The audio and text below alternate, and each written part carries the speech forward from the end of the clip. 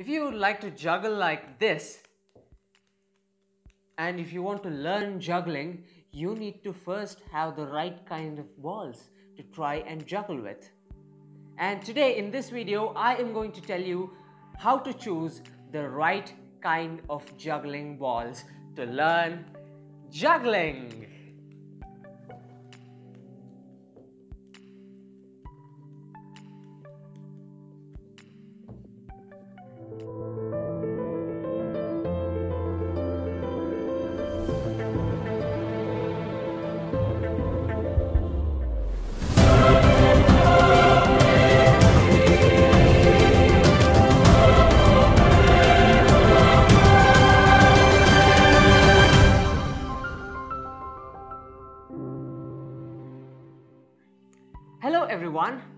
I am Tejaswi Ananth and welcome to my YouTube channel. Today I am going to teach you how to choose a right juggling ball for learning juggling. Well, there are various kinds of juggling balls and uh, you have to follow a small checklist to know what kind of juggling ball is right for you to learn juggling. So the first point is the ball should be heavy so that when you throw and catch the ball it will go exactly the same way as you want it to go and it will not take any diversion due to wind or it will not get distorted when you are practicing outdoor. So that is point number 1. Point number 2 is when you drop a ball it should not roll away like so because when you're practicing it will be very tiring for you to go pick it up and come back and then start juggling again. So it when you put throw the ball and when it falls down it has to stay where it falls. So that is point number 2 and uh, if any ball that you have fulfills that criteria then you can start juggling with it.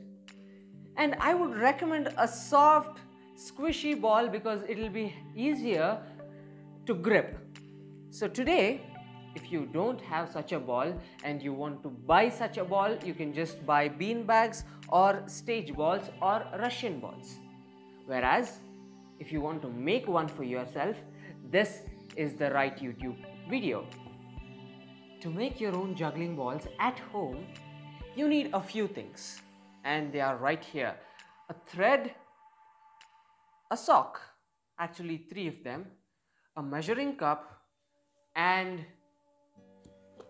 a bowl of rice or millet or any sundry grains. How do you go about it? First, measure a specific quantity of rice.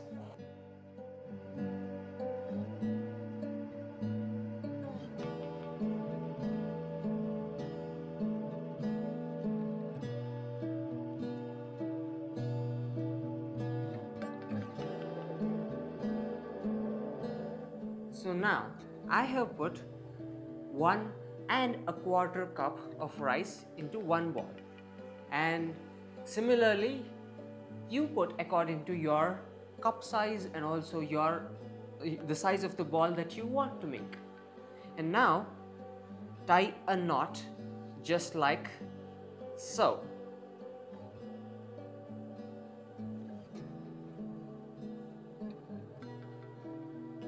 Once you have tied a knot,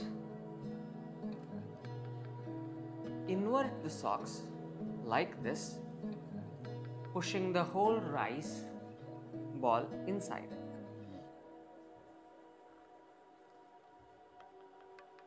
Now take the thread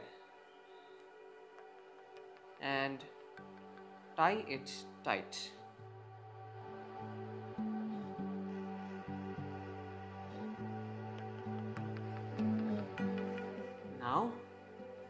Invert the sock again, once again.